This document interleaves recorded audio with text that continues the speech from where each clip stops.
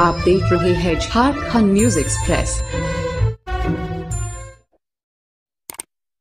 Lockdown में कुछ छूट है क्या? लॉकडाउन को लेकर बहुत वहाँ पर मतलब हर दिन चर्चा हो रही है ये होने वाला है ये होने वाला कल से- मुख्य- मुख्यमंत्री जी को सारे हमारी नज़र है बिल्कुल आप अस्वस्थ रहें। हम सभी चीज़ों पर सभी गतिविधियों पर नज़र है। अभी आप हम लोग दो तीन दिनों के अंदर लाखों टेस्ट करने की हम लोगों ने एक लक्ष्य तय किया है। संबंधित विभाग इस विषय पर बड़ी तेज़ी से काम कर रही है।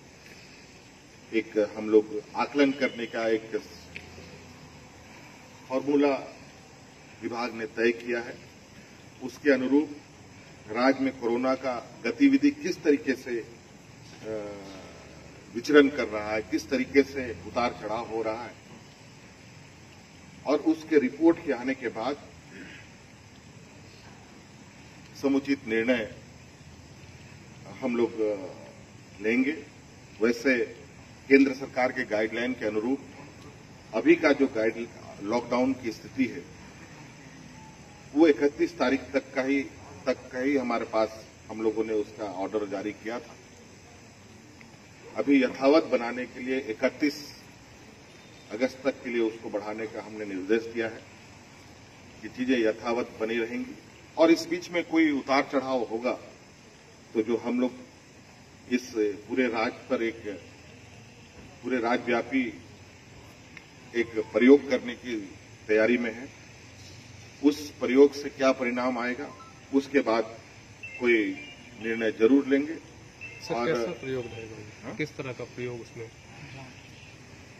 टेस्ट का है, संक्रमण का उतार चढ़ाव का है क्योंकि अभी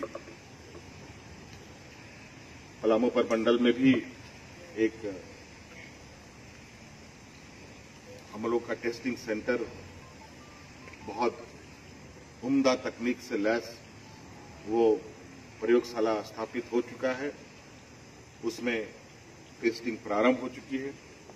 और, कुछ दिनों के बाद एक और संथाल परगाना में भी वो प्रयोगशाला का विधिवत उद्घाटन होगा।